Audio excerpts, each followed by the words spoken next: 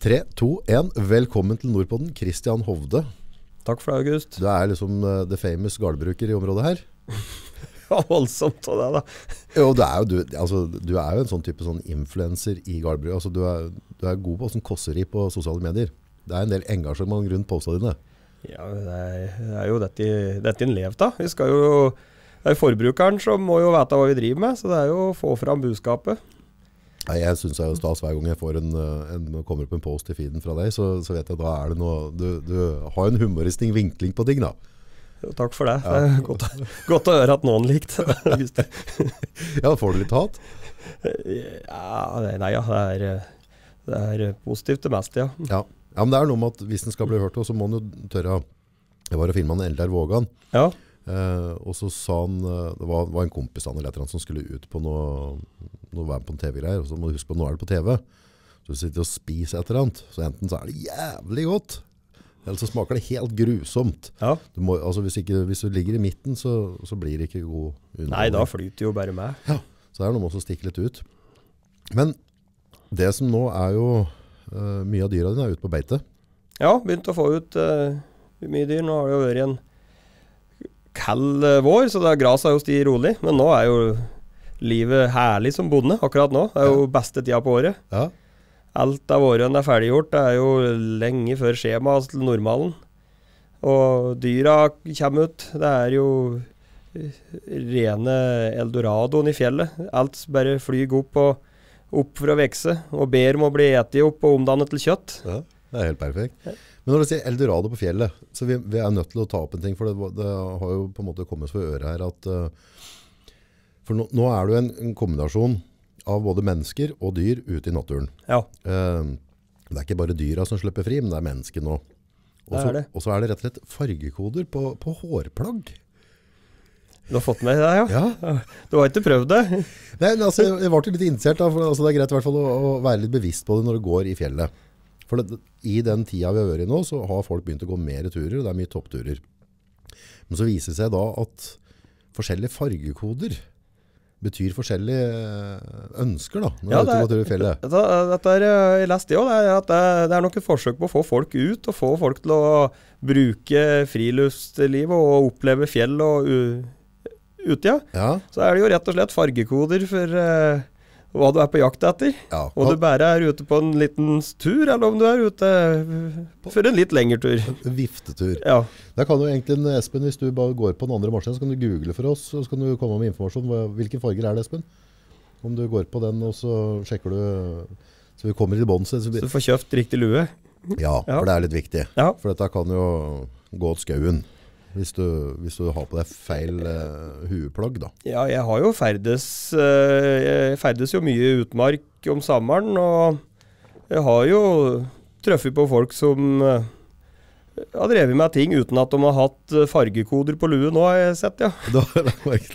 ja, for du må jo litt ut i, i naturen og følge med dyra. for det er, altså, eller slipper du dyra dine, og så er de bare ute til å hente dem igjen? Nei, det er, eh, dette er egentlig planlagt helt fra starten. Dette er med, egentlig med begynne allerede når vi laga til kalven. Det er å avle fram dyr som skal gå ut i utmarka og utnytte beite og vekse. Og så har du dette med lynne og håndtering av dyra.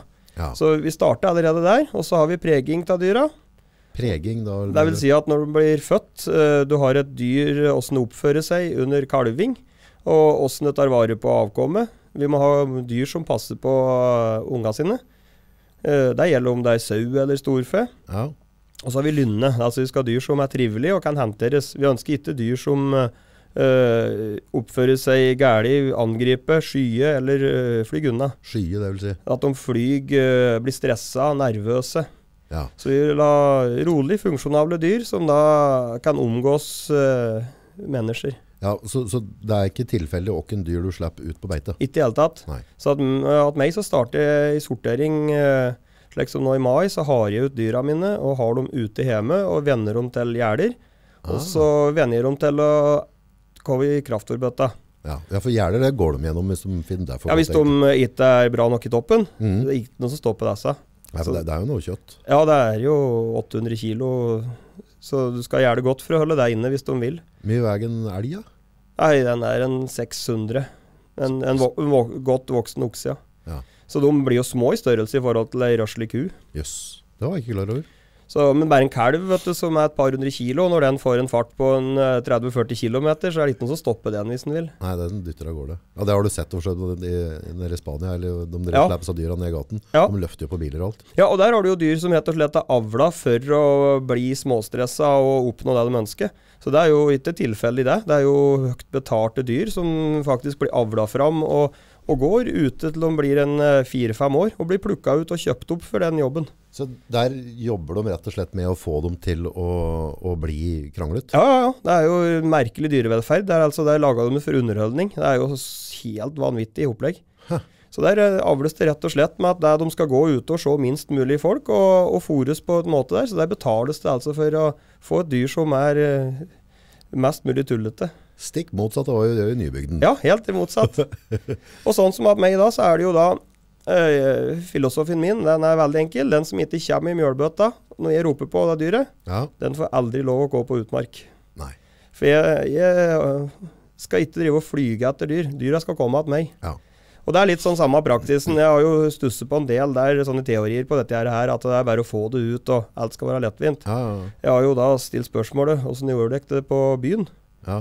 Uh, Jager dere dem i senk, eller prøver dere å lokke, lokke dem til dere? ja, ikke sant? Det er ingen som blir sjarmert av å bli jaga. Det samme er med dyra. Dette handler om å oppnå tillit og oppnå et, eh, rett og slett et, et eh, trygghet. Ja.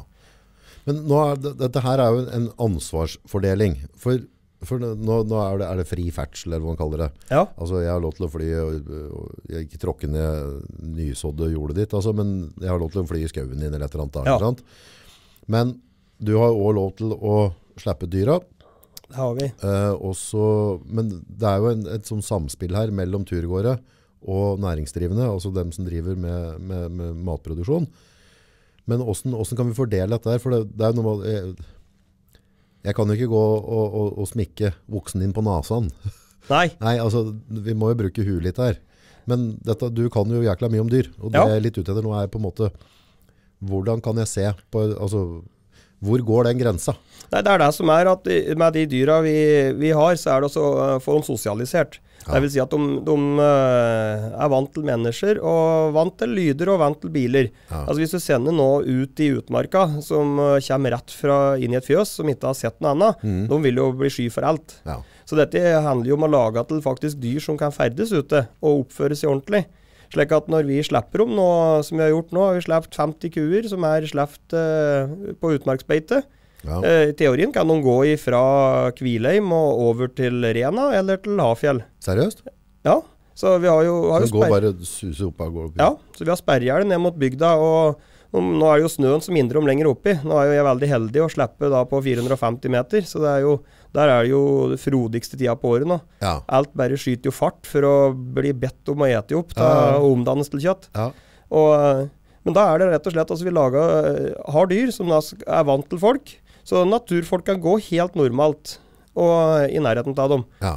Men så har du da ku med kalv. Den reagerer litt annerledes enn ei, ei ku som ikke har med kalven. Ja. Altså Da har du, eh, skal du ta vare på når Da du har litt mer, ja, da har du litt mer ansvar og så instinkt. Eh, det som har vært litt feil, har vært er at en del har sendt noen kuer som har kalva ute.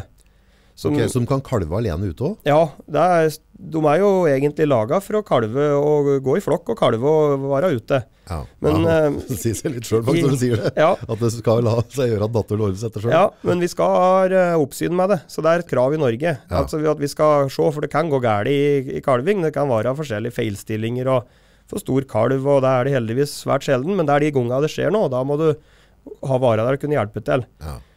Og da har det vært noen tilfeller dessverre der det har vært kuer som har kalva ute. og ø, Den kalven er jo sårbar, og den er jo beskyttende. slik at det har vært noen episoder der ø, folk har kommet litt for nærme og rett og slett uh, gått over grensa til de dyra i forhold til dem, og da instinktet har våkna. Men da, nå er vi litt altså, forhold til Søte tur, men fant du ut at med luegreien Ja da. Ja. Eh, de som er single, skal gå med grønn lue. Grønn lue hvis det er singel, folkens. Og de som er opptatt, skal gå med rød. Rød hvis du er opptatt. Og de som er kanskje åpen for kontakt, skal ha på oransje. Oransje lue, kanskje åpen. Så det er bare tre fargekoder per i dag. Så det er ikke noe, det er ikke noe avgrener der. Men la oss si hvis jeg da går med min grønne lue, da. Var det grønn, nei, var det Grønn er singel. ja, singel? Ja, rød skal jeg ha. da. Ja, rød. Hvis jeg kommer med min røde lue, og det utgangspunktet, så Den grensa. Altså, hvis jeg, hvis jeg ser, ser at jeg møter noen, møter ti av dine dyr, Ja. Uh, er det liksom et steinkast unna jeg skal holde meg? Skal jeg gå i ring rundt? Hvordan forholder jeg meg til dette der? Nei, du kan si, Møter du dyra, så skal du bare kunne gå vanlig uh, forbi dem. eh, Og så står de der og går og beiter. Lag gjerne noen lyder, slik at de blir oppmerksom på at du kommer der. Ok, Så at Altså- de ikke skremmer dem? Ja, At du ikke skremmer dem. Og så kan du gjerne gå en ring rundt dem hvis du ser de står der. Og og i hvert fall hvis du har med deg unger eller, eh, eller bikkje. Ja, så vi skal ikke leke David Atterbury, at vi legger oss og. Look at this cow, og, og åler oss innpå dem, liksom, Nei. og, og skremmer dem. Nei, helt motsatt, ja. Helt Det motsatt. er laga lyder. De går jo med bjeller i utmarka, sånn at de lager jo Har alle bjeller? alle, alle dyr som slippes i utmarka i, eh, i Ringsaker, som her, har vi krav om at skal være det. er Altså de store, ikke kalva. Nei. Det er de store dyra. Skal Ja. ha bjeller. Ja. Eh, og vi har jo krav om at de skal ha en klava rundt hersen, den bjella hengt i. ja. Der det står navnet og telefonnummer et land som eier. Ok. Og samme et øremerke Så hvis jeg sitter oppi treet, så kan jeg ta telefonen, ta bilde, zoome inn, finne nummeret ditt og ringe til Christian? Ja, Jeg sitter oppi. det, det, kan du trygt gjøre da. Og det er like mye for oss òg, at vi ønsker at de skal ha det. Altså Vi ser jo da på farger og navn hvem som er eiere. Men det er hvis det skjer noe med dyra, at det er noen skader eller at det er et eller annet, så er det veldig enkelt å melde fra og gi beskjed eh, om at det er noe, slik at vi kan eh, eventuelt få sett på det sjøl. Men avstand. Hva er en, en fornuftig avstand til beitedyr, tenker du? Sånn, Nei, er, eh, du ser det egentlig fort på dyra. Altså Hvis du har dyr som går rolig, du gjør det til kjenne, dyra bare fortsetter å beite og ser på deg. Så da kan du gå eh, relativt nærme. Du- Du kan gå 20-30 meter. Okay, det er ingen reaksjon. Så har du dem du ser begynne å spisse ører, stresse, altså det sprer seg rundt i flokken. Ah, ja, det vil altså, flytte flokken på seg da? Ja, da kan de fort begynne å flytte på seg. Altså da I flyr det stedet for å stå og beite, så Ja. Og der har du den sorteringa som, som jeg gjør at meg, og vi, de fleste gjør, at vi sorterer ut de individa der. For det, de individa der ønsker vi egentlig ikke å ha ute, for det er de som er farlige. ja. For det er de individa Har du ett individ som er spiss i øra, blir det akkurat som i skoleklasse. Da kan du bake han inn. For at om han stikker, så er det ingen som følger med. Okay, Men har du to, Har du to? da får du dratt med deg. Ja. Så det blir omtrent som å putte meg og deg i et uh, klasserom. Da Da skjer det ting. er det nok en grunn til at de hadde satt, eh, satt oss på vår side av veggen, ja. Vi får ikke sitte her på samme pulten. Nei, da hadde du ikke vært mye å lært for dem som satt der. tror jeg. Så det er egentlig ganske likt mennesker, da. Ja, det er det. Altså, det, er, det litt Men sånn når eh, du sier altså grupper La oss eh, skal jeg forstå at det er riktig Si at det er en klynge med 10-20 stykk. Ja. De driver og graser, eller står og et. Ja. Jeg kommer, og så er jeg kanskje for nære. Da vil, altså, slutter de med eta? Spise, altså, når er det jeg skjønner at, at nå er jeg innafor Det er når de øh, stopper å ete og begynner å se på deg og følge med på deg. Så de, altså, du kan For lese da er det tema. Ja, da er, du, da er det du som er fokuset. Hvis du gjør det til kjenne, de ser opp og fortsetter å beite, da bryr de seg ikke. Da, er du, da har de øh, fått øye på deg, og det er helt ok. Han slipper vi forbi. Ok, ok. Så, så, så hvis de, bare- de ser deg, de Ja. fortsetter å ete, da er vi i utgangspunktet home clear. Da kan vi bare fortsette på den stien vi Ja. går. Da trenger vi ikke gjøre noe ut av det. Ja, for, for du har- når du tar deg på å ha sett naturfilmer øh, om rovdyr som angriper, de bråka sjelden på forhånd og laga lyd. De sniker seg jo innpå. Ja. Og sånn er det jo som, å gjøre at instinktet er, for her oppe har vi jo dessverre eh, en del rovdyr som ferdes. ja. Eh, og de eh, er jo at de skremmer og jager ut individer Så de bruker jo den teknikken med å snike seg innpå og skille ut det individet de skal ha. De leser jo flokken, akkurat som vi, vi kan gjøre. Ja. Så ser de hvilket individ det er som eh, de kan ta ut. ja. Så, så det er Og du, du ser på en flokk da, og, og spesielt da hvis du har med deg ei, ei bikkje eller en unge. Altså Dyra ser ikke eh, På avstand så klarer ikke de å skille. De ser at det er et lite individ. De eh, klarer ikke å skille hva det er da. Eh, og da kan det fort bli situasjoner som er litt ubehagelige. Ja. Men la oss si hvis, hvis jeg ser at, eh, at de, de slutter å tygge, de, at jeg, en og annen har og øret, de begynner å følge, altså de er observante på meg, Ja, hva gjør jeg da? da går du unna. Da snur du, går heller ring rundt. Løper, Nei, bare gå stille. ja, ikke noe, ikke noe brå bevegelser. Nei, ja, ja, ikke brått i hele tatt. Kan det være dumt å begynne med brå bevegelser? Ja, det kan opp, øh, gjøre det motsatte effekten. At det, når du gjør det da til kjenne og begynner å lage brå bevegelser, så kan du tiltrekke dem mot deg i stedet. Ja. Så du kan ha de individene som går for å forsvare en flokk, for de er jo et flokkdyr opprinnelig. ja. Så Så det er egentlig ikke noe gærent ved dem som de, altså bare, de, de dyra som spiser øl, de har egentlig bare gode, gode instinkter. Ja da, de har jo de kan litt, kanskje litt for gode instinkter. Ja. Det er jo flok, det er det som er med dem da, at de har, eh, har den instinktet. Ja. Så, og det er jo det rovdyra har funnet ut, sånn som den moderne sauen. For den, eh, den flyger jo fra lamungen. Og stikta. Ja, I stedet for de gamle rasen som er avla fram med rovdyr. Ja. De står rolig og forsvarer. ja. Så Men jeg husker når jeg var mindre, så, så da var det jo Sykla vi gikk til skolen. ja. Eh, men det er klart da var det gjerne langsomme veier og sånne ting. Men kvigen, altså ungdyra, de kunne være litt sånn elkete. Eh, og der vet jeg at jeg, når jeg var mindre, så var det ikke så godt for meg å vite om de var egentlig ute etter meg. Eller om de drev bare, for de kan være litt sånn hoppete og, og drive på litt inn mot gjerdet. Og, Ja da, det er jo, er jo som tenåringer ellers. De er jo lekende og skal vise seg fram for de andre. da. ja. Så det er jo litt sånn innat der òg. Men på ungdyra, er det noen måte å se når den driver og bare leker og tøffer seg, eller om det er på krigsstien? Nei, du ser det, du leser dem egentlig med Hvis de bare leker seg og, og driver på slik, så da er de ikke noe farlig. Nei. Du ser eh, et dyr som da er oppvakt og spisse ører og føler med. Ja. Det er de som da er farlig, for de leser eh, situasjonen på en annen måte. Ja. Altså Det handler om ro og trygghet i dem. Hvis de da er eh, alt er i orden, så bare fortsett de å leke og drive. Da er det ikke noe farlig i det hele tatt. Nei. Så det er når de da begynner rett og slett å, å, å, å gå med huet høyt og liksom står der med blikket og prøver å få med seg alt. Ja. Før et dyr i, i den størrelsesorden der angriper, er det noen ting du ser på dem? Ja, vi leser dem jo. Altså et dyr som kommer flygende etter deg. Det har jo vært litt sånn problem om høsten med folk som skal på bærtur med Ja. bøtter. Som uh, får jo årlig henvendelser om at det er de, uh, dyra jager dem og eh, virker aggressive. Ja.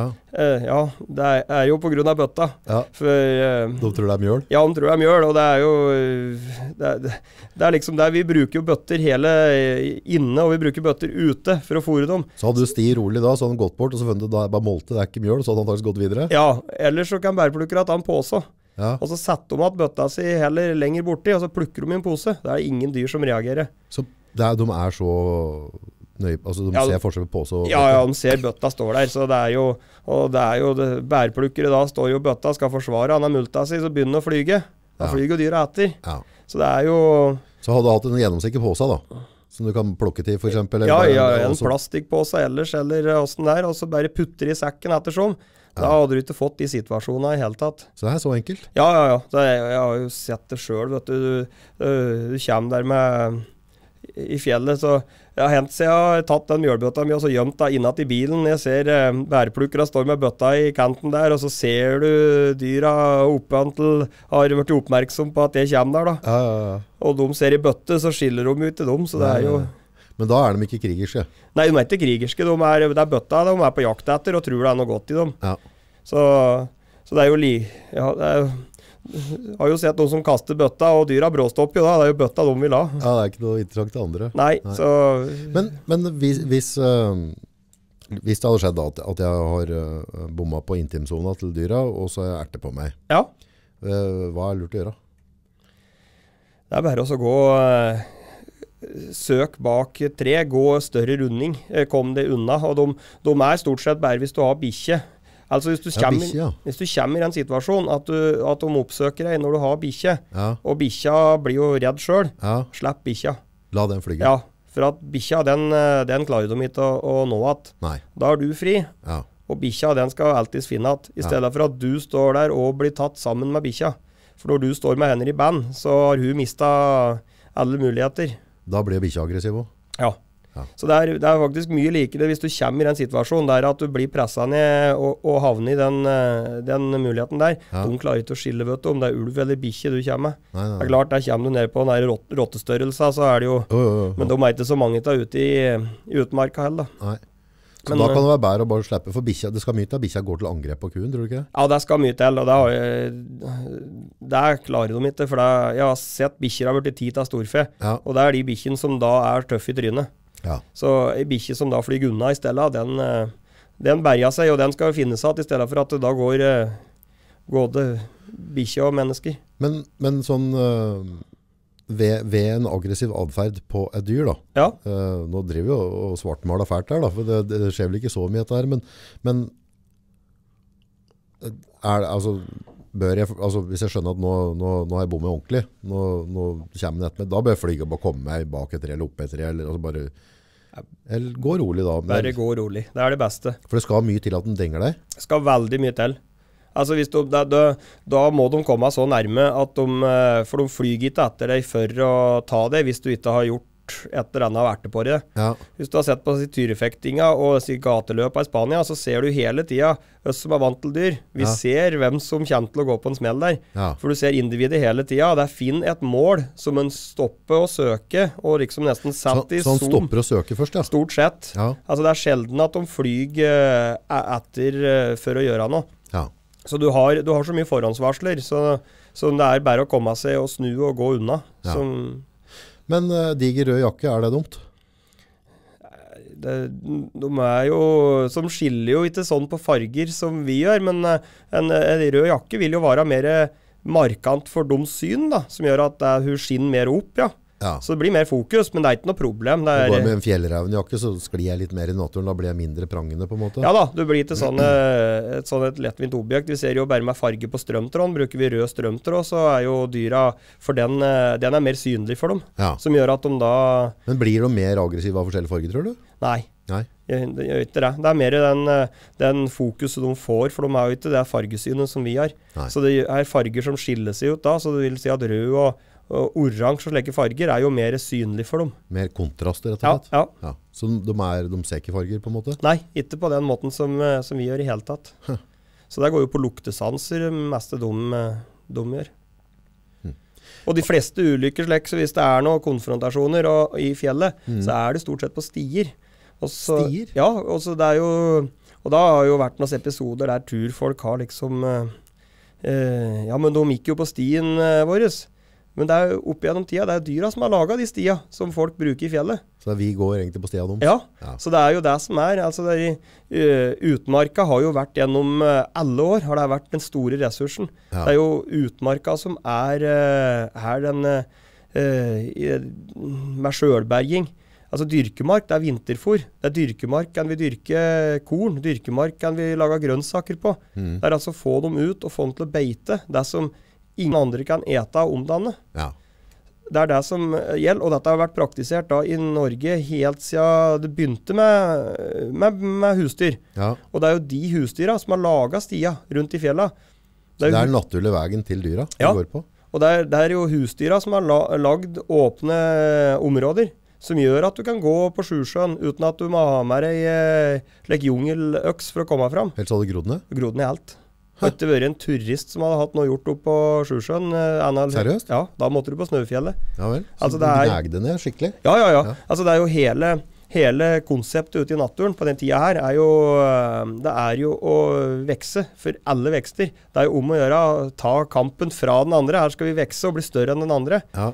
Og da med beitedyra, som vi slipper ut tidlig nå Vi slipper jo allerede når det, det er musører på bjørka, kaller vi det. Altså det er begynnende, begynnende sånn små Knippe. Ja. Ja. For da er, det, da er det i gang på bakken.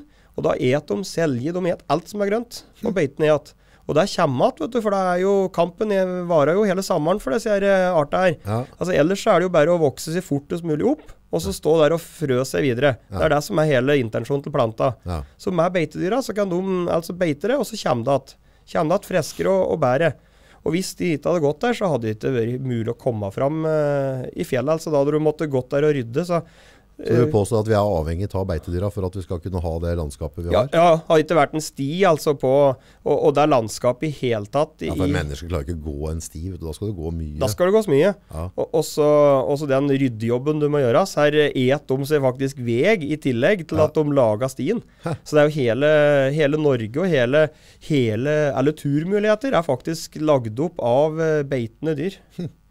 Men sånn, rent sånn teknisk da, forhold til eh, Nå driver ikke jeg fly så mye på tur, men sier altså turfolk, da. Blir det nå, da, for Ja, lue og Ja, for lue og greier. det er jo helt kanon.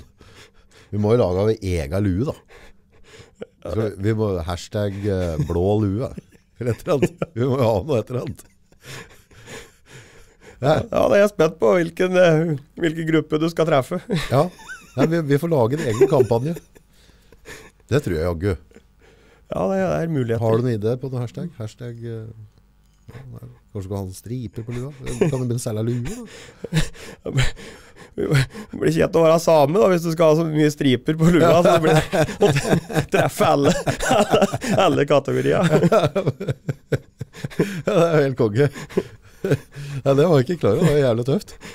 Nei, så det er, det er mye ting en kan se etter ute i naturen på, på slike ting. Men ja. det er det at det faktisk ikke hadde vært mulig å komme seg ut. Så, så vi som uh, utnytter denne ressursen, det er jo en eh, det er jo den viktigste ressursen vi har. Altså Vi har i forhold til eh, bare ting som antibiotikaresistens og hele greia. Ja. Altså her har Vi vi har hu- husromma, har fjøsa, har vi for at dyra skal ha det bra om vinteren. Ja. Men det naturlige er jo for dem å komme seg ut og beite og bruke den ressursen. Ja. så Med få dyra ut nå, så, så sprer vi altså alt ut. De går ute, et forskjellig. Du minsker det som kan eh, muligheter for å få sykdom eh, på dyra og husdyrromma og alt. Så det er naturlig de eter, gjør man? Ja, og så at du får spredd dyra. At du rett og slett får dem ut. Akkurat som nå i koronatider. Ja. Altså du får, eh, Står du ting tett på hverandre, så har du større risiko for, eh, for alt, egentlig. Det er både sykdommer og hele greia. Huh. Og da er det jo antibiotika som brukes som behandling. Ja. Så med få ut dyr, så har du Alt blir bedre. Altså du får luftveier. Er, alt er naturlig. ja. Og så er det den jobben de gjør, og den ressursen de gjør. Huh. Så du kan si at Jeg eh, har ikke tenkt sånn på dem. Nei, det er å... Og, og um, hva ei ku eh, et om en dag, vet du, det tilsvarer jo eh, eh, Skal vi se Sånn eh, 50 kuer. Det tilsvarer ett dekar med korn hver dag. Oi. Som de et da ute i utmarka. Som er eh, fôr som omdannes til å bli kjøtt. Som vi da heller kan dyrke på for å lage brød. Det er jo jævla miljøvennlig òg. Miljøvennlig, ja. Det er jo dette som er det Du kan snakke om den klimavennlige eh, oppi alt. Ja, når, når ble det gærent å gjøre det den naturlige måten, liksom? Skal vi liksom altså, er det det, det klimafolka skal ha? De skal ta bort, ta bort det naturlige beite Altså det er et beitedyr som skal gå ut og beite, og så, og så, for det var jo betalt noe fising og noe greier. Og, Ja, altså det er graset som Her, her, her er det snakk om eh, det eneste som kan omdanne faktisk nå til å bli en vare. De omdanner noe til å bli kjøtt. Mm. Altså dyr som går ut og beite. Det er storfe og sau. Det er de eneste dyra som kan, eh, kan omdanne det. Du har sauen som går ut nå, vet du. De Mm. vokser jo, Lamunga vokser 300-400 gram om dagen. 300-400 gram om dagen. Ja, og da har du et individ som ved fødsel veier en fem kilo. Og gjett hva den finner i veita. Ja, de gjør det. De et det. Og mora Hvorfor ligger disse saua og kuen midt i veien og soler seg? Hva er greia med det? Nei, det er, eh, det er for å Plages? Nei, det er jo akkurat som deg. Det er for å være synlig. Ja. Altså vise at de er der. Gjør de det? Nei da, det er, det er nok uh, terreng det er, De går langs veien. Vet du. Det er lettere å gå. Akkurat som de har lagt seg stier. Ja. Så bruker de vega som vi gjør, altså for å komme seg fra A til B. Ja. Og eh, dessverre så, så er det en del som da legger seg ned, og så er det da at det er kjøligere. De legger seg på grusen og, og asfalten, så er det for å kjøle seg ned. ja og Som legger seg i skyggepartiet på en måte? Ja. Ja. Og, og, så Hva gjør jeg da hvis jeg kommer der da? Har det litt bråttom? Skulle være nede for fjellet og skal på arbeid, og der ligger de. Ja, da bare stopper du og tar en prat med dem, og så svinger du rundt.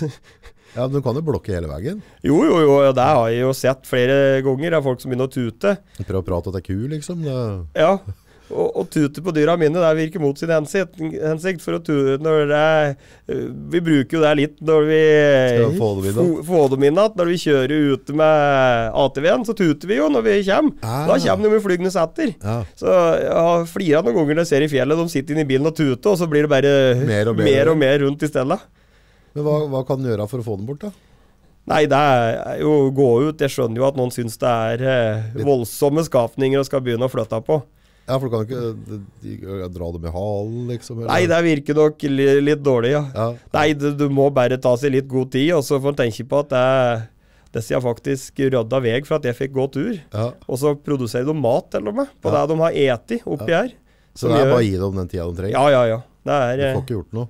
det er si eh, at gå... Ku og kvinnfolk er egentlig ganske like der. Ja, nå, nå snakker vi. Ja. De, eh, Største likhetstrekk med ku og kvinnfolk, Kristian. Nå, nå, nå er jeg litt spent her. Nei, nå er, er det bare å spise øra Nå har jeg litt. egentlig eh, hoppa uti noe som jeg burde ha unngått, sikkert. ja. Ja, ja, men Nei, men de, er, de trives best i flokk. Altså uh, mer enn én. Uh, ingen øh, trives alene der. Er du ute på byen, så ser du jo det. Kvinnfolk skal jo gå i sammen hvis det er noe. Ja, Og, og uh, går samme sammen på dass. Og, Ja, ja, ja.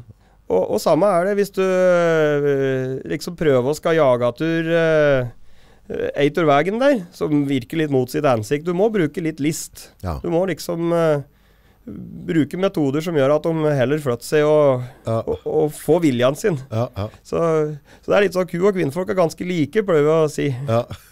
Men hvis de ligger i veien og slapper av, så er de ikke typisk irriterte da. Nei, nei, nei, de, da har de aldri oppsøkt. Det er altså dyr som da har de trekka som eh, For å, gjøre gærne ting, de, er, eh, de ligger ikke i veien, og de flyr så fort de ser noe, noe som rører på seg. Ja, ja. Så det er Så eh, de som ligger og, og slasker den i, i veien, de, de er ikke noe irritable jævler. de er de som gir det beste kjøttet. Ja. For de er rolige. Rolige. Ja. Er det forskjell på det? Ja, ja, ja. Det er jo det som er eh, for, stor forskjell. Det. Altså Et dyr som er stressa øh, under slakting, det er ikke etende kjøttet. Blir ikke godt til det. Nei, så det er lynne har alt å si, altså hele veien Ja. eh, med alt vi driver med. Men har det noe med veksten på dyra òg? Mindre stressa dyr vekst? Ja, ja. Eller? De roa det på Ja. det de driver med. Så vi ser jo da Vi har jo kua som uh, beiter nå, går med kalver. Kalva vokser jo en kilo om dagen, da. Kilo om De Hun går i fjellet sammen med mora si. Altså da uten omtrent som meg på ferie, det. Ja, det er flere, flere til oss, da. Det har det rolig og godt å et. Slapper av litt og et. Det er kilo om dagen, ja. Men det går ikke like fort bort igjen. Men det er, det er altså det går med trivsel, og, og det at vi har avla dyr for, som skal utnytte det som er i å beite, og omdanner det til mjølk og omdanner det til mat. Ja. Så det går altså på den avlen som, som Men den mjølka de laga eventuelt der, det blir supta opp av kalven, eller? Ja, den blir ja. drukket opp av kalven. Ja. Så det er, og da er det pluss det han et ellers. Og da er det jo stor forskjell fra individ til individ, akkurat som hos mennesker. Noen utnytter det mye bedre enn andre. Ja. Og det er der vi har drevet i tyr, vet du, avl nå i 20 år, der vi har avla fram dyra som skal være best på å ete grovfòr, og best på å utnytte grovfòr. ja. Så det skal liksom gi mest mulig kilo kjøtt av å ete norske råvarer og beitedyr som vi laga. Hm. Og da, da er det Men når du drikker mjølk, en kalv som drikker mjølk, eter den og busker? Ja. Den Så, et, så det blir begge deler? Ja, ja. Begynner tidlig Blir med det ikke vondt med tenner og greier på puppa? Eller sånn dette Nei. speden, som de Det er eh, De tenner bare under kjeften. Og så legger de tunga over når de drikker. Ah, Så, hvis du ser kalven stå og suge, så står han slått med tunga litt så han ute. legger tunga over tenna? Ja. Ellers så får han klager av mor si? Ja, da blir det Da blir, blir det Da står hun ikke rolig igjen, nei. Nei, nei. Så, nei, så det er eh, rett og slett de, eh, de går der og, og omdanner da eh, den ressursen der, og gjør uh, vei for uh, turfolket, og, og lager kjøtt som vi serverer. Og da har du lynne som er en faktor som gjør at det, det blir, blir godt kjøtt pga. at det er ting som eh, påvirker rett og slett pH-en i kjøttet. Hm. Så et, eh, skal du ha en saftig biff, så er det å kjøpe fra rolige dyr som er, eh, er eh, Utebeitende. Ja. Ja.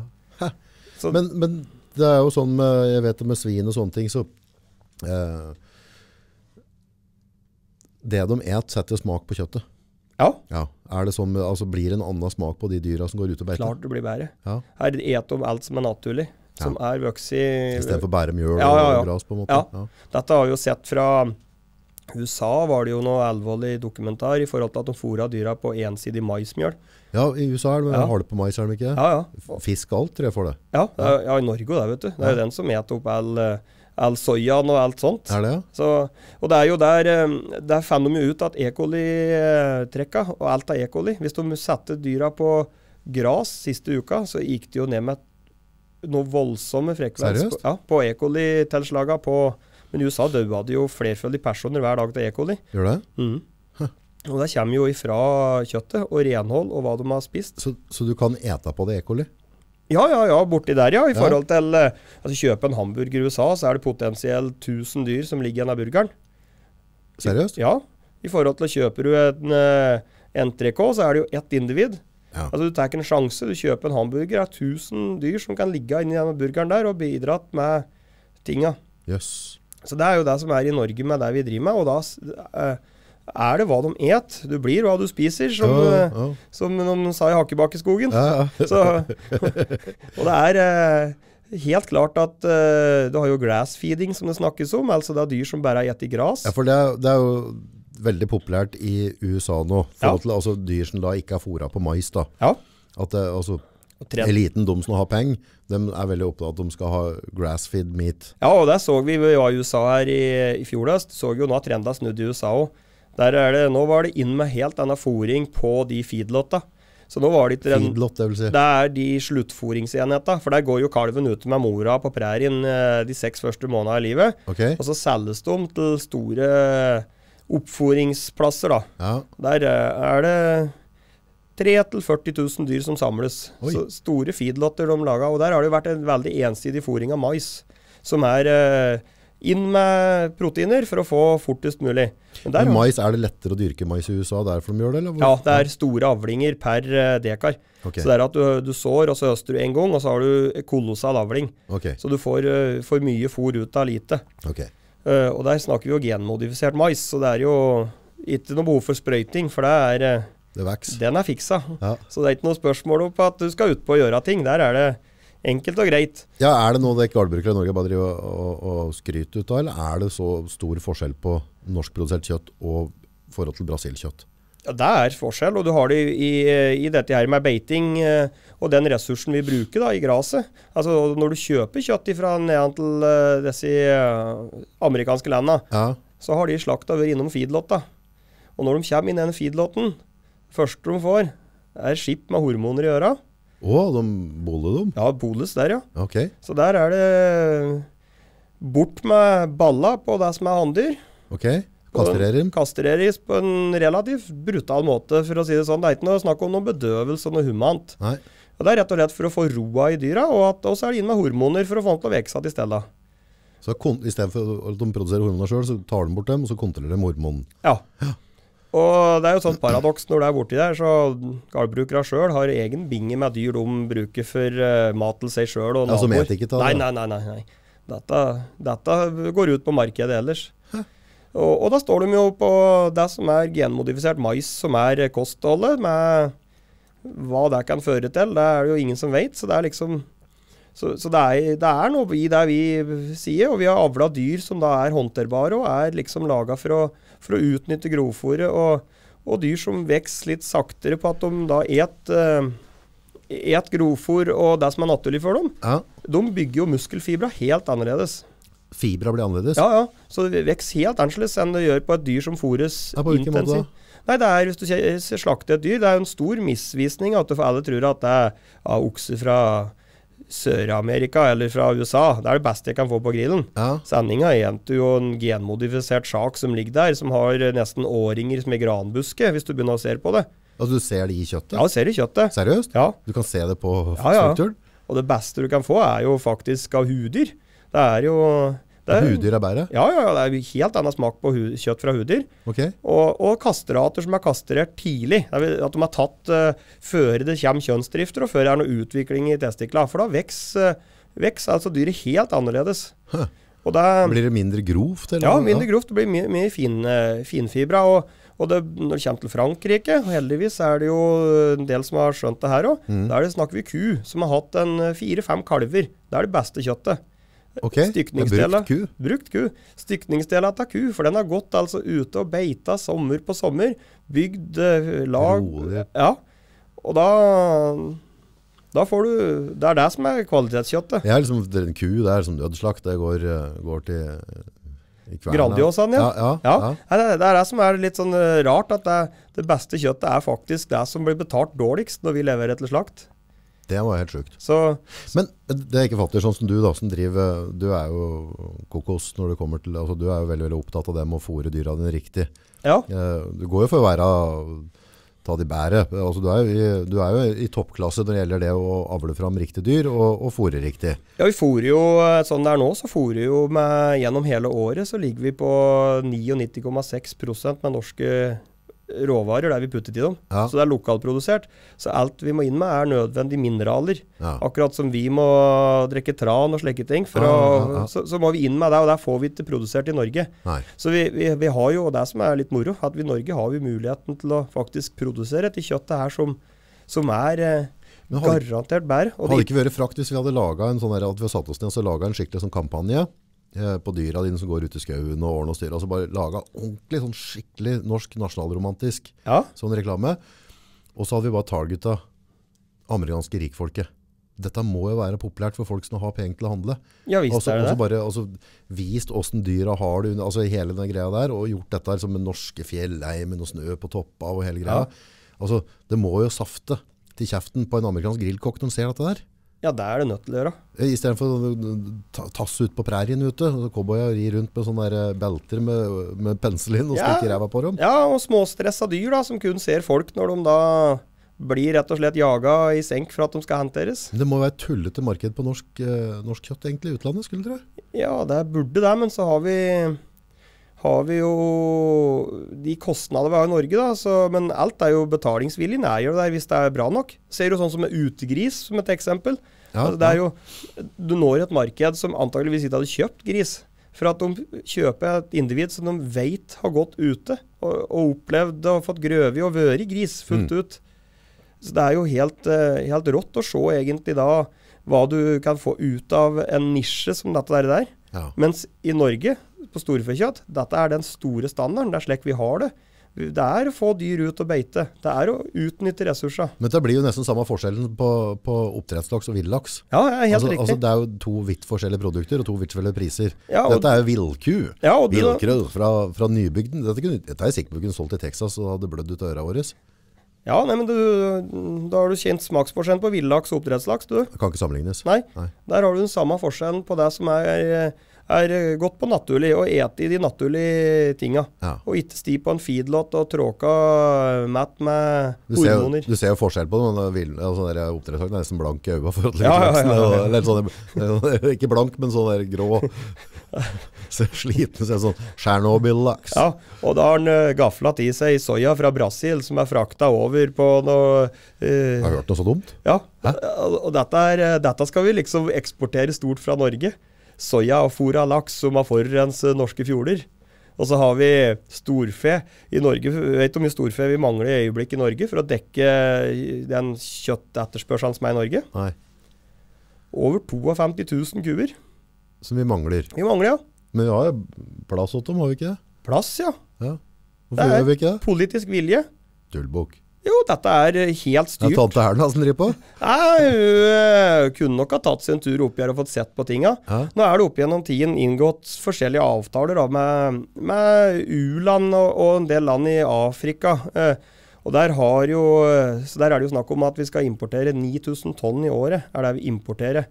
Fra disse utfordringene. Handelsavtaler, som det så fint heter. Det er sånn knokkeldyr, sånn du ser i India, det. ja, de, eh, de har nok fått litt stell på saken, men det er litt sånn litt annet opplegg. Og så er det, det er rett og slett for å hjelpe i landa for å få, for å få betalt for varen. Og så Ok, ok, at, at det ikke skal dumpes. Men det er jo et paradoks at det, vi frakter her fra Afrika, og der står de og sulter nedi og trenger maten sjøl. Altså, det, dette er jo gamle avtaler som er inngått. Hvorfor kunne ikke Vi gitt dem penger i stedet, da. ja, eller gitt om det kjøttet. Ja. At vi har betalt om. Du kan snakke om bistandsmidler som blir brukt riktig. da. Hvis vi kan faktisk gi dem mat på bordet, i stedet for at vi skal frakte det Så vi betaler for at de skal produsere mat, og så sender vi det til Norge. Ja, og Så dere sult- dem for å produsere dyr, altså gitt det til folka nedi der? og Da. da kan eh, du tro De produsentene som produserer dette, tror du det er spredt rundt på bygda og hjelp bygdesamfunnet? Eller er det én eller to farmere som sitter og stikker av med hele potten? Ja, ikke sant. Dette er når du begynner å prate sånn. Det blir sånn der, hvis, du, hvis du legger deg på ryggkulen, da, Ja. og så ute i naturen, og så begynner du å kikke opp i universet, og så, sånn stjernehimmelen, du ser på himmelen, så begynner du å tenke litt også at så får du vondt i huet til slutt. Du kjenner du, ah, jeg orker ikke å tenke på det, for dette blir for dumt, ikke sant? Det blir for voldsomt. ja. Men jeg får jo akkurat samme følelse når du sier at vi, driver, vi betaler for å sende maten ut til Afrika. Ja, og det blir jo slik nå, nå altså, det, er, det er jo helt eh, Du får litt vondt over systemet. Og da når det da 9000 tonn i seg sjøl, og så mangler vi nå for øyeblikket så mangler vi 16 000 tonn med storfekjøtt i Norge. Og Det tilsvarer altså 52 000 kuer som kunne gått ute her og beita, i stedet for at det skal gro igjen i Norge. Og, og, og da kan du snakke sysselsetting. Hvor mange arbeidsplasser hadde det skapt? Jo, jo, jo. Hvor mange arbeidsplasser hadde skapt på slakteri? Hvor nærbutikker? Hvor mye bygder hadde vi kunne hatt? Vestlandet er jo på vei ned eh, i forhold til at det gror igjen. Det er ingen som vil satse. Og så skal vi heller sitte og importere kjøttet fra Afrika. Og så skal vi la eh, nordmenn finne på andre ting å jobbe med, når ressursen ligger der til og med. Det er kokos. Dette er kokos. Og dette er, eh, Akkurat som på sau, så er det jo gamle avtaler. Vi sitter og importerer saukjøtt fra Island for å hjelpe dem. Ja vel. Mens vi Var har du dum har hjalp oss sist, da? Nei, Nei, det, nei, det kan du si. Nei, det, er, det er mye sånt. Altså, det er jo hele Har du, på... Island, der må bare ta sånn, eller skli litt av gårde. Har du hørt det der uttrykket Shanghaia? Nei. Eh, Shanghaia, det er, altså da er utgangspunktet så er det sånn at du, du er på, på fest, og så våkner du opp, og så er du på en båt en eller annen stand. Da har du fått arbeid i fylla, Ja. uten at du visste om det. Og Dette kom da utgangspunkt fra Island, for Island var veldig, veldig avhengig av, en del, noen år tilbake, at eh, den eh, skip, altså, hva- skipsfarten da. Ja. Eh, og det var en veldig stor bit av industrien. Så der var det da rett og slett akseptert fra myndighetene. Så lokale sheriffen hadde da avtale med, med skipsredere. Så hvis du da havner på fylla, Ja. og havner i du så låste den opp døra, og så kom det noen fra seg båta ned der, så helte de på mer brennevin, så tok de ned på nachspiel i båten. Ja. Neste øyeblikk så var det på tur ned til Tyskland. Ja, ja, ja. Eh, Så det var en dokumentasje og det, og det til slutt sånn ene kaptein han gikk av båten for folk tok livet av seg sånn. For, det, for de var jo ikke laga. For, altså, det var en historie om en som skulle ned på butikken og kjøpe mjølk. Komme igjen åtte måneder etterpå. Han faen meg vært nede i Shanghai en tur. Opp. For da ble den, møtt nede på brygga, så fikk han seg noen pinner. Og så drakk de om bord i båten, og så skar de av gårde. Så, for de hadde ikke nok mannskap. Nei, ja, det er jo en grei måte å, Shanghai folk og bare lurer dem om bord i båten. ja, ja, det er en grei Så- måte å rekruttere på. Så disse driver og kjøper sau av. Nei, så det er jo et helt hinsides opplegg, hele greia. Altså, vi, vi, vi kan produsere maten her, og vi kan produsere verdens beste og reneste mat som vi kan vi dokumenterer er fri for antibiotika. Vi er den, den eh, i verden som bruker minst av alt vi snakker om. Ja, var ordentlig, på, på ordentlig. Ja, ja. Ja. Og så, og så sitter vi her og øh, skal importere i stedet. Og i stedet for at vi vet jo at det øh, folk vil betale for ren mat. Du kommer til Syden, vet du. Nei, nå skal vi kose oss. Så du, skal være her i sju dager, så ligger du matforgiftet seks av dager, for du har spist litt, øh, Ja, ja, ja. litt grumsete saker. Det er støtt sånn når du er på tur. Det Ja. er alltid en eller annen som et etter alt, og så ligger den der og spreller. Ja, det er jo garantert. Ja, det er, jo- det, hva er det med det? Liksom? Du, du, du skal på ferie, og så hår gogg. Hvor mange matforgiftninger hører om vi i Norge som har spist norsk mat? Det er, det er ikke mange. Nei, det er ikke Så det er jo den. Den hadde, hadde vi hatt myndigheter som hadde sett hva vi driver med, og hva vi kunne bidratt med, og hva beitedyr gjør for Norge som nasjon. Mm. Altså hva, hva er poenget med å sende disse cruiseskipa innover Vestlandet? Hvis det gror igjen. Ja, Det ligger, ligger sånn der ørderbusk hele ja de, de driver jo nå faktisk altså, og, og høgg rundt der for å holde oppe for at det skal være noe å se. Og dette her kunne vært omsatt til kjøtt. De kunne fått gått i land og kjøpt altså verdens reneste kjøtt, som var godt og beita, sånn at det var mulig for dem å komme inn der. Og Den største kritikeren vet du, det er jo Hegnar og han der gjengen der som sitter der og, og rakker ned på jordbruket. De som har mest å tjene på Det er eh, Hegnar han driver med at han, det er, nei, han er kapital. kapital. Jeg, Så har han nok litt eh, Han har, var det han han, som var med på Hurtigruta, er det? ja, Ja, ja, stemmer. han har litt uh, interesser der, han. da. Ja. Og um, han sett hvor lite penger som går med til å drifte for å produsere den oppi hyllen der, så tror jeg han hadde skjønt at kanskje var uh, på tide å snakke opp jordbruket og få dem til å gjøre bruke de ressursene. Men jeg tror, altså Jordbruket det er litt interessant. Eh, Dette er jo noe jeg oppriktig bryr meg om. For jeg er jo sånn Jeg syns det er viktig at vi er en viss prosent sjølberga i et land. Altså, det, det er liksom sånn Er vi et land? Vi har grenser altså, Det er et land, det er grenser, alt er for en grunn. Dette er liksom vist deg gjennom tidene. Nå er vi på 34 eller noe i Norge. Ja, Det er så dumt. Så det. Til og med svenska var bedre. Ja, da kjente jeg, da, da begynte konkurransegubben med. Svenska er vel på 48 eller noe, så det er uh, Da snakker vi. De, Ja, men ja. Nei, altså, ja, vi håper det, altså, hvis det kommer noe Nå har vi på en måte hele Norge og hele verden blitt truffet av, av det der um, styret med, med, med det viruset som har gått rundt nå. Men at vi kanskje har litt fokus. Jeg tror at nå er gardbrukerens tid inn igjen med at den gjengse nordmann skjønner det med at, at maten kommer ikke i hylla av seg sjøl. Nei, der trodde vi jo sjøl næringa nå. Altså, vi har jo ikke, vi har jo ikke For oss som driver i næringa, som gårdbrukere, vi har jo ikke merket koronaen i hele tatt, for så vidt. For vi har drevet med det samme. Men vi, vi merker jo en helt annen holdning Ja. fra forbruker, og vi merker jo at etterspørselen etter det vi driver med Altså Kjøttet gikk jo fra å være det mest omtalte og det verste som var, til å være tomt på 14 dager. Ja, Så var jo butikkhyllen ble jo tømt. ja. Og vi var jo midt i en klimadebatt som, som jeg syns uh, Det er, slett, bare- det er bare rett og slett en prompedebatt. Ja, og totalt avsporing i forhold til det det handler om. Det handler altså om å sikre seg mat på en jordklode som vokser i befolkning. Og, og, og så skal vi sitte og diskutere at ei, ei eh, ku promper. Og så snakker vi altså bare i Norge så har vi 300 000 kuer. Ja. Altså India har vi Ja. 300 millioner som ingen får nyttiggjort. De vet de ikke, eller hva? Nei. De må være heldige. Og da kan du snakke om uh, fokus er, eh, er Problemet riktig. tror jeg med gardbrukere er at fra gammelt av så var det ikke noe oppsnåelse jævler. Altså, ja, men altså fra fra gamle storbonden, altså drittungen på Flesag, eller den der gården, hva heter den der, han der, sånn, Nei, det var Lefse. odelsgutten på Evenstad. Evenstad, ja, ikke sant? Odelsgutten på, ja. Altså, Fle Flesaker, der er det bare ordentlige folk. ja, Flesaker, ja, det er gard i området. Ja, det er oppe opp med Veldrekirka. Ja, ja, der er det.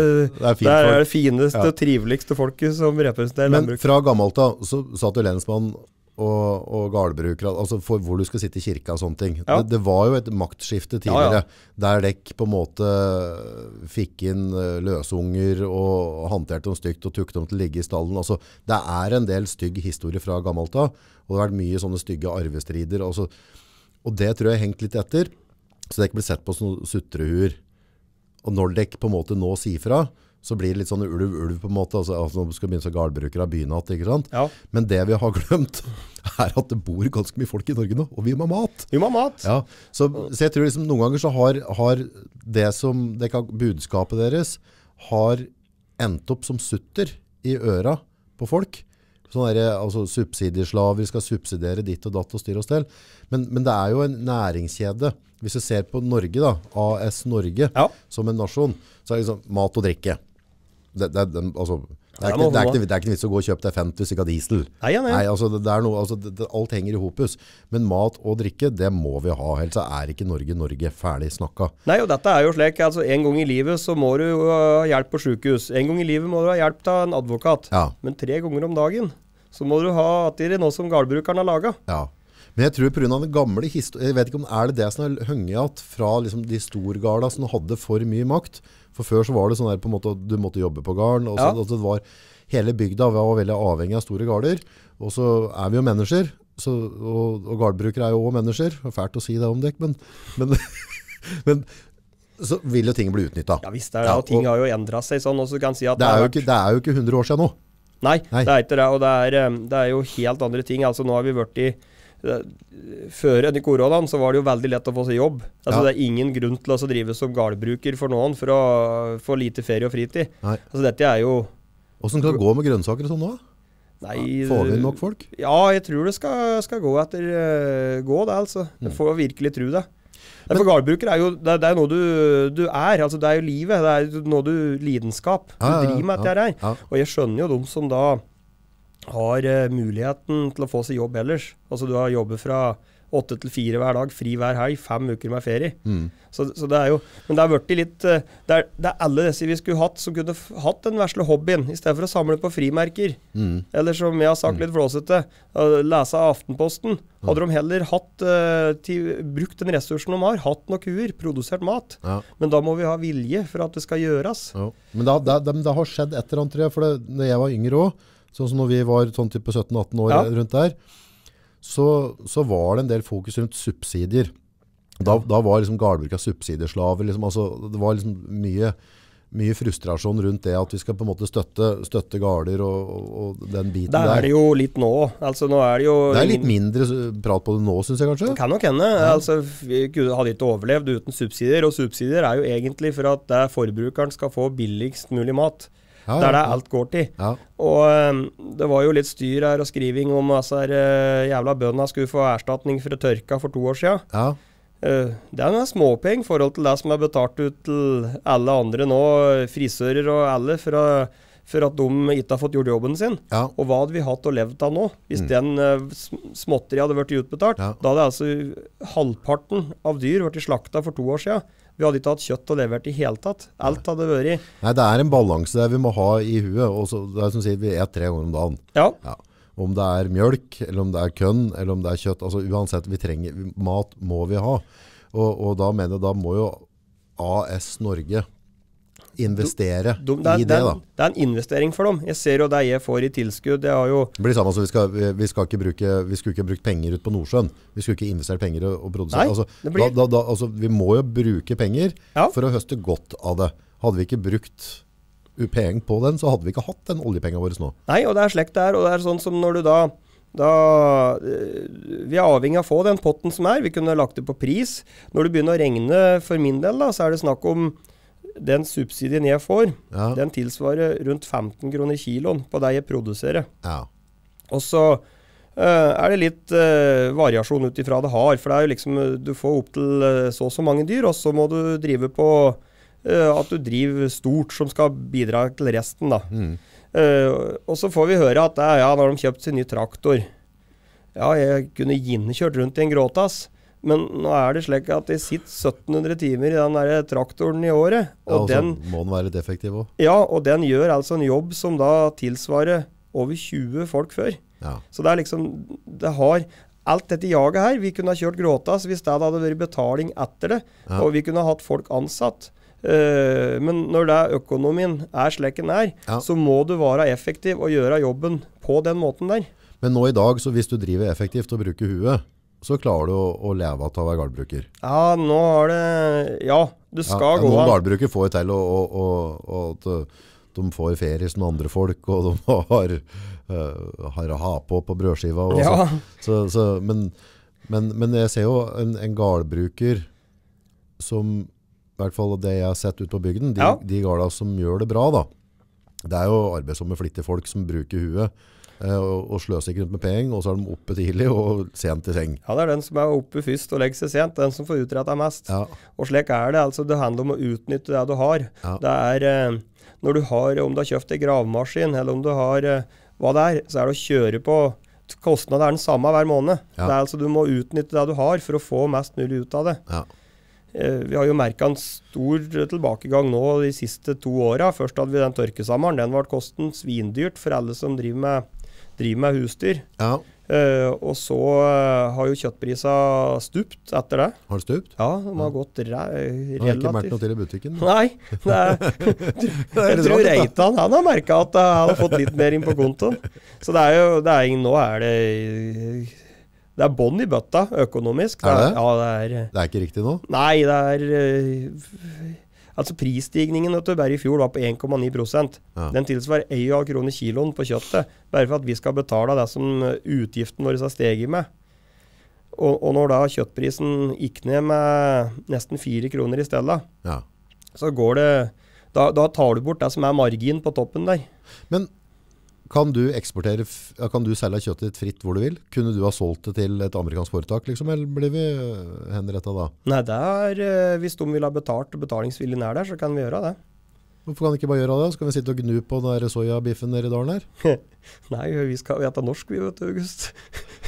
Ja, Ja, men, ja, men sånn hatt, hvis vi hadde økonom- produsert for mye, så ja, men altså, hvis, hvis du hadde tenkt sånn, altså, hvis du tenker sånn rent økonomisk, da, Ja. hvorfor ikke bare skape sitt eget marked da? Og så Ja. kanskje, kanskje nordmennene og myndighetene åpner opp øynene. og finner ut at, at det er produktet produkter vi har er faktisk så bra, at det er folk på andre siden av jorda som er interessert i å betale mer for det. Ja, det jo, Der kan du jo ta eksempel hva, hva vi gjør her enn noen av oss å prøve. Vi importerer jo Kobe-biff, har du hatt et som er litt bereist. Ja, Den er jo i dag fra Kobe i Japan. Ja. Det er Wagi som er opprinnelig. ja. Det importeres jo til Wagi er altså dyret. Ja, det er en rase. Ja, og Kobe er måte å dyrke det på. eller? Kobe det er en havneby i Japan, det. Så når folk sier at de heter Kobe-biff, da skal de være sikre på at de heter Kobe-biff, for da skal den være fra Kobe. Ok, så det er fra en spesiell havnebil i Japan. Stemmer. Det er akkurat som champagne. Er, vet du, folk bruker jo det, og det er egentlig fra Er det et varemerke? Altså, er Kobe-biff er et varemerke. ja, så det kan ikke du, du kan ikke kalle det Kobe-biff? Nei, etter Kobe-biff så er det garantert fra Kobe. Da er de fra det, den havnebyen i Japan. Hvor mye koster for kiloen da, tror du? Nei, ja, det er 3500 kroner kiloen. Kunne vi ikke hatt nybygd biff? Jo, men det er jo Altså, akkurat det. Vi har jo da Vi har jo tien eh, til Norge, Ja, som vi nå krysser fram og lager. Altså, hvis noen i, i, i Norge vil kjøpe kjøtt av den eksklusive rasen, mm. så må vi jaggu klare å lage den i Norge. ja. Og få til en biff som da skal være like eksklusiv. Og vara vokser jo opp. Og, og det er jo litt sånn småkomisk, for eh, Det er jo ikke noe beiter i Japan. Alle dyra står inne hele tida. Ja, for de dyra, blir ikke de bare, skal ikke de bare stå stille og bli fôret på mjølk omtrent da? Eller, Ja, de eller- står jo på hard, ja, frokostblanding, er det nesten det likeste å kalle det. Ja. For at de har jo ikke beitemark. Alt, Japan står under vann. Det er jo ris de dyrker for det meste der. Okay. Så, så du kan si at vi skal dra den enda lenger, vi i Norge. Vi skal lage faktisk den wagi-kjøttet med dyr som er ute og beite. ja. Og, og et uh, det naturlige som vokser Klarer du å få det like mørkt da, tror du?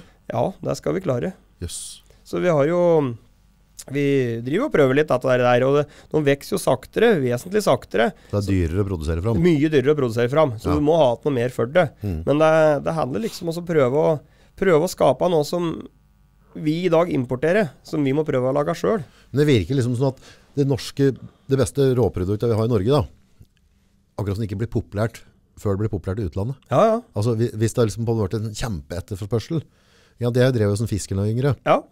Beste, beste juksatorsken vi fikk, den ble jo bare lagt på i, altså for det, det som er liksom spesielt med den sett blir tatt i trål, ikke sant? Ja. Og så kommer det opp 10 10-20 tonn i en sånn not, og så blir de klemt. Så renner jo driten, og alt blir trykket på. Men juksafisken, den går på krok, så går den rett opp i båten, ja. ut med kroken, ut igjen med linja, så bløgger du den. Og så vipper du da, da skjærer du den, og så legger du den da opp i et vannkar der det står og pumper havvann. og da er det fortsatt såpass mye liv i fisken, da får du til seg alt blodet. ja. Og i det du begynner å få noen kilo opp på det, så sløyer du rente, mm. så at ikke det blir liggende og trøkken. Så blir dette vaska, lagt på is. Det ble bare pakka i isboresker, isa fint, og så ble det sendt med fly fra Finnmark og ned til Frankrike. For det, Ja, det, det, var, det var jo liksom luksusvaren. Så, så den fineste fisken, den, den forsvant ikke i Norge. Nei, Den gikk jo til utlandet. jeg har tjenestegjort på KV Nordkapp, jeg, så jeg har eh, vært på utallige inspeksjoner av uh, Fiskebåter, ja. fiskebåter, Ja. spansk og russisk eh, Jeg var ikke noe glad i fisk før jeg åt det, men etter å ha vært på inspeksjon på disse båtene der, så ble jeg ikke noe mer glad i fisk. Nei, de trålere, ja. Ja. fy fader. Det er, uh, Det er de sjarkfiskere, det er der du får den fineste fisken. Ja, ja, ja. Altså, der kan du snakke om altså, den fisken som vi får igjen, akkurat som dette der, jeg ser ferdigpakken fra Findus og denne ligaen der. Ja, Det er jo fra disse russiske og spanske trålere som har Det ligget oppi er der. dritreise, altså. Det er jo, skal du ete fisk, så er det jo fisk som er akkurat som med kjøttproduksjon. Det er å få ut eh, og, og gjøre det riktig. Ja, for du ser, hvis du får en fin torsk, da, en 4-8 kilos, ja, så legger du den bare opp under arm, armhula, og så bløgger du den. Eh, og er det godt med liv i den, altså si at den er, det er en fersk fisk, så står blodspruten-turen. ja.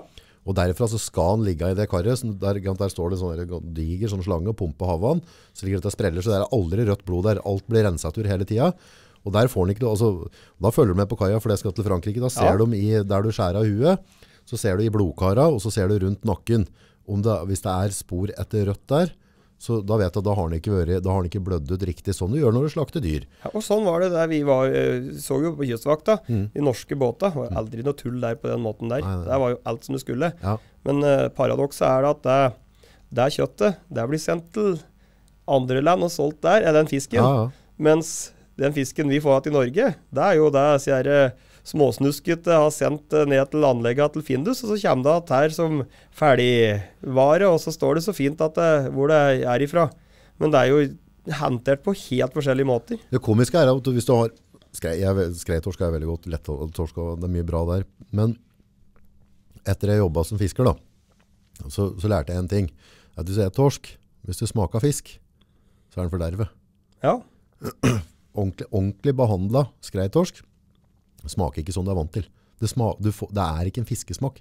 Så den fis, fiskesmaken gjør, det, er, altså det er bare sånn der, det er en sånn rød lampe som drar av. Da, da vet jeg at denne har ikke vært bløgga og sløyd og iset riktig. Nei, men det er Ferdig. akkurat det samme som med storfekjøtt. Du kjenner altså smaken. Du kjenner smaken på åssen dette her dyret har hatt, og hva det er fôra på. Ja. Altså Det går på, på hele Men det blir litt vanskelig å skille på storfe, for der, der krydder vi og peprer, og vi har på chili, og vi har på grillkrydder. Altså, du gjemmer mer. Ja, må ikke det. Der, men der gjemmer du jo smaken mer, men på, Ja. på torsk, du krydrer jo ikke Ja, en torsk. Du har ikke på grillkrydder. På, har, du skreitorsk, så krydrer du ikke den. Da vil du ha den, den, den fiskesmaken som er der. Da. Eller, altså, Nei, så Det er jo akkurat dette her, og dette har jo vært håpet for det vi driver med òg. Altså å få tilbake mer av det kjøttet som vi produserer, og fått det tilbake lokalt. ja. Nå eh, ja, du har jo noe samarbeid med noen restauranter på Dalen, har du ikke Ja da, er, så, det er, jeg er kjempefornøyd. Det er, At eh, vi kan sende noe tilbake.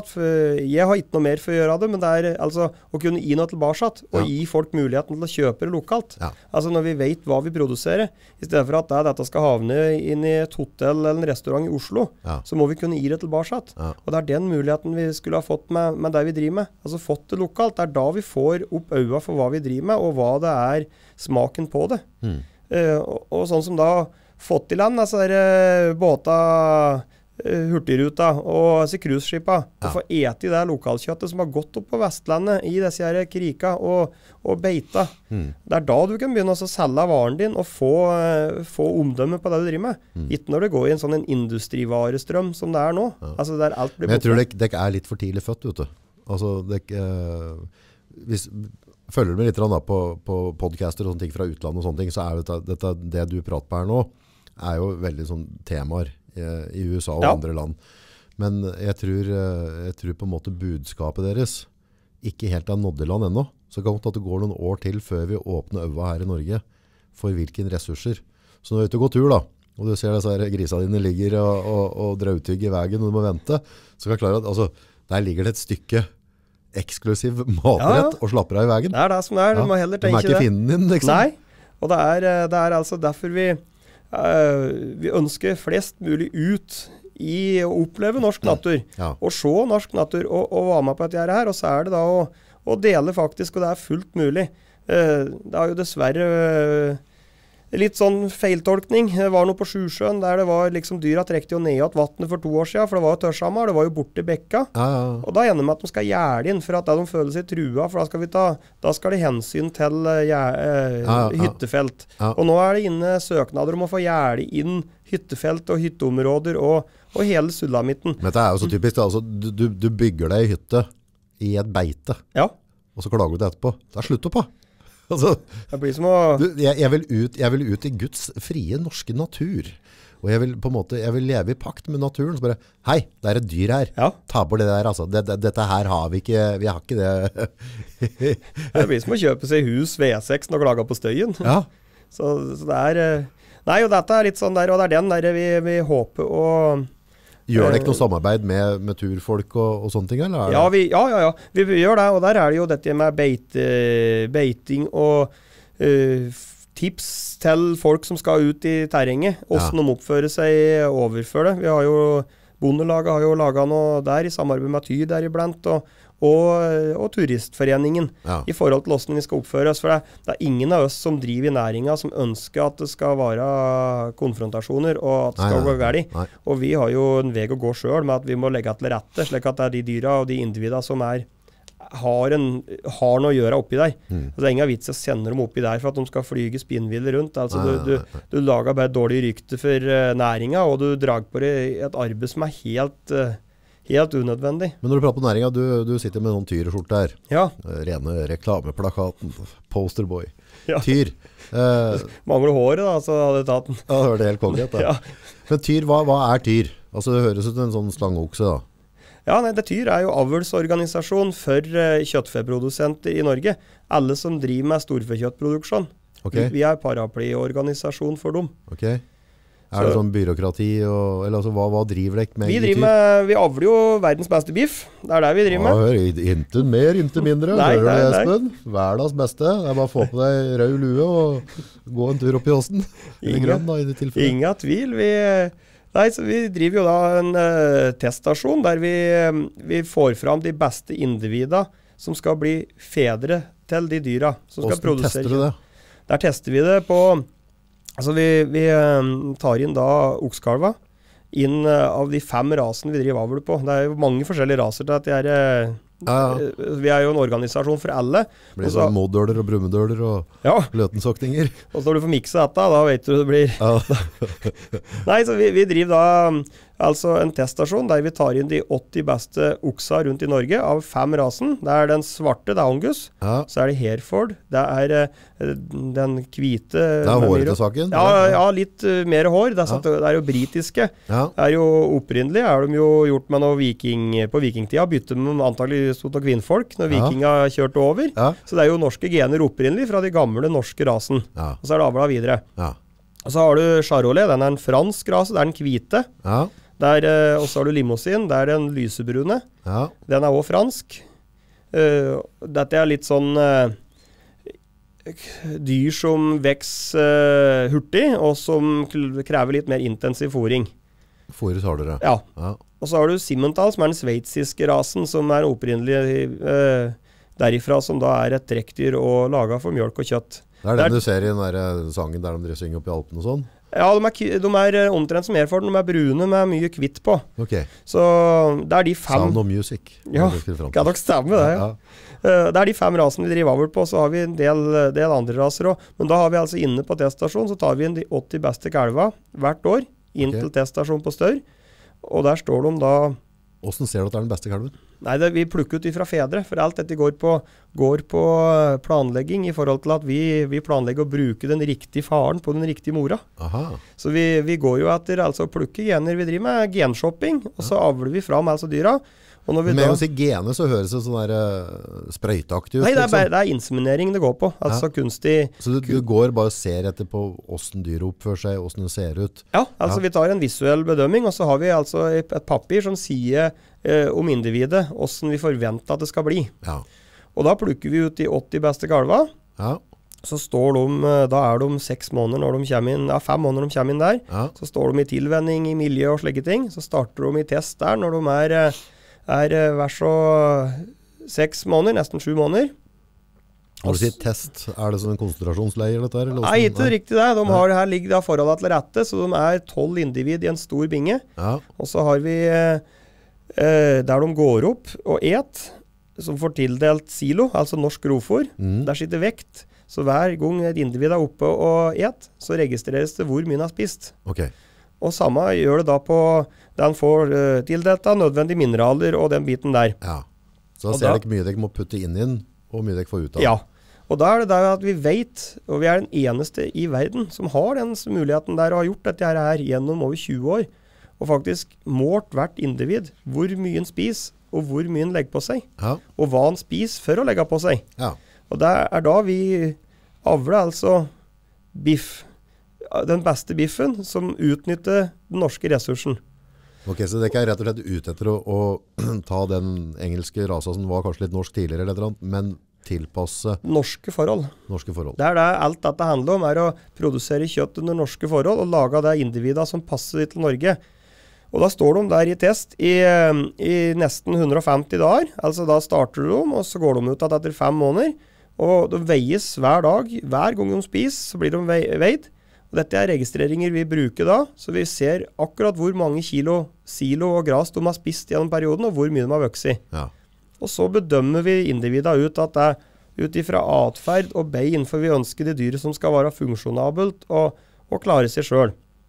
Og vi lager da og da plukker vi ut de beste dyra, som vi mener er de dyra som skal ut og bli fedre til nye. De plukker vi ut og går da i det som er semintjenesten for å lage det produktet som Tyr levde av, den inntekta vi har. Det er salg av, eh, av sæd, da, Ja. som, eh, som er. Og da selger vi ut da, og til uh, mjølkebønder og kjøttfebønder, som da inseminerer dyra sine for å lage individ som skal produsere kjøtt. Ja. Og det er det den måten vi rekrutterer nye inn, slik at vi, vi kommer inn med nye gener og, og finner de individene som passer best under norske forhold. ja. Og det kan være forskjellig fra hvor det er i Norge òg, er det ikke? Ja, og det er jo det som er eh, spennende, at det er jo raser som, som passer bedre ut på noen plasser i Norge. Altså Angus og Herford er jo uh, veldig nøysomme dyr som eh, De vokser litt saktere, men eh, eter jo hva som helst og, og klarer seg på litt dårligere næringsgrunnlag, da. Ja. Så det er jo å velge dyr etter driftsapparatet, åssen det passer ut. Og det er der vi har, Så har vi jo flere raser i tillegg, sånn som Highland Cattle, som du sikkert har sett. Disse hårete med lange høn. ja, de er tøffe. Ja, det er jo, er jo ne, vi, ja, storfets svar på villsau omtrent. Da. De er laga for å gå ut ute hele året. Oh, ja, så de kan Og det jo, all, all storfe er jo avla for å lage, være ute hele året, men da kan du si at Angus og Hereford har jo fått det hårlaget og laga slekk pga. det britiske klimaet. Ja. Så det er jo, de er jo avla etter. Og, tilpasser seg ja, jorda. og så tar vi dem til Norge, og så har vi, prøver vi å avle den norske. Og det er der vi har lykkes med at vi nå selger jo sæd ut til land i Europa. Av den jobben vi har gjort for å finne ut uh, mer enn hvordan individet ser ut. Vi har altså tallgrunnlag som viser hvor bra disse dyra er på å lage kjøtt av grovfòr. Ja. Og så lage beitende dyr som skal gå ute og ete.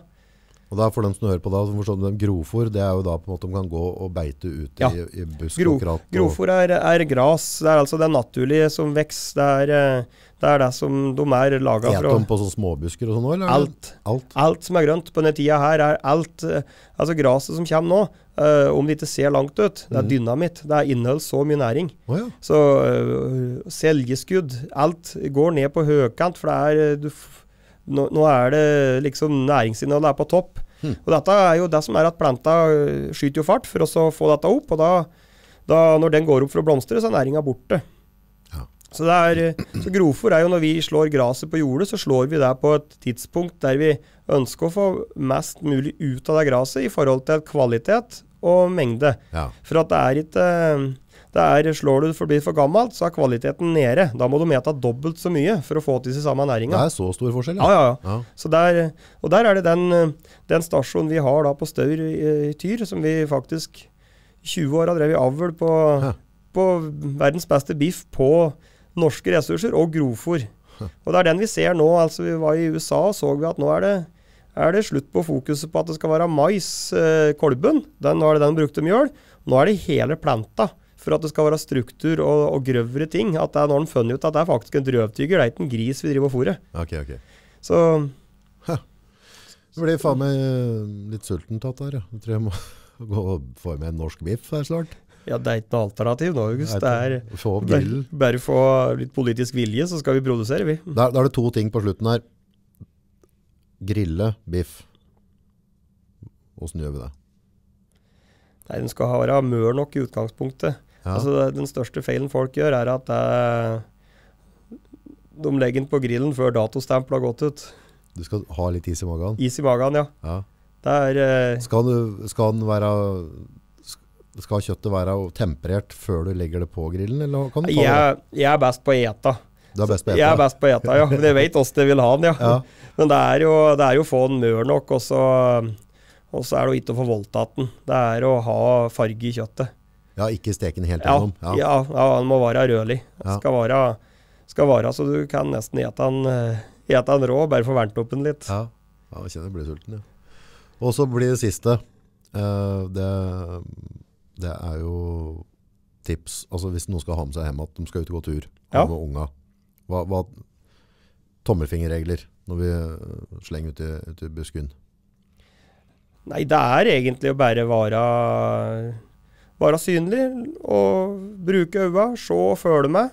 Og så er det jo Ikke snike seg innpå, og så være synlig. være synlig. Ja. Det er jo der vi har jo sett flere ganger syklister som kommer litt brått på, og nå eh, sånne som flyr med noen øreklokker på øra, som Ja, ja. ikke lager noen lyder. Ja. Det er da dyra skvetter, og det er da dyra blir usikre. Ja. Så det er å lage lyder. Det er uh, å se og studere, og så tenke over hva egentlig er det disse dyra her bidrar med. De bidrar faktisk på så mange måter. I den verdiskapninga de gjør. De gjør at jeg kan gå tur, de holder landskapet oppe. Og de omdanner dette til kjøtt, slik at jeg kan ete norsk eh, råvarer som er verdens sunneste, og, og holde meg frisk. Ja. Og så husk på det at når det ligger dyr der fra vei 200 til 800 kilo, det er ikke en sofakatt. Så, så sant du ikke er det med gårdbrukeren som kjenner dyret, så ikke gå og klappe det. Nei, det er greit også Hold grei avstand. Ja, Ja. det er det. Det er, eh, er det holde avstand. Så er gårdbrukeren i nærheten, så da er det nok mulighet for å ta en prat der om, ja. Men uh, Emil Lønneberget, han passer på grinder. Ja. Er det en problemstilling?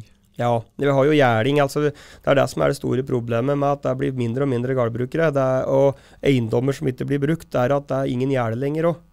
Så det er, det er den største problemet for eh, er å få dyr på utmark, er at de kommer ned igjen til bygden, for det er ikke gjerder lenger. Nei. Eh, Vi er veldig heldige oppi her som har et, eh, et, et samhold og et eh, kvigbeitelag som gjør det på dugnad og holder ting ved like. Mm. Men nå er det heldigvis ting som på gang som er funnet opp, og som nå selges rundt i Norge. Det er altså de legger inn, har på en, en klava rundt hersen. Som du legger inn ruta på en GPS rett og slett av dyra, hvor de setter grenser for hvor de kan gå. Oh, ja. Og da får du en liten prikking når du nærmer deg grensa. Oh, ja. Så da snur de.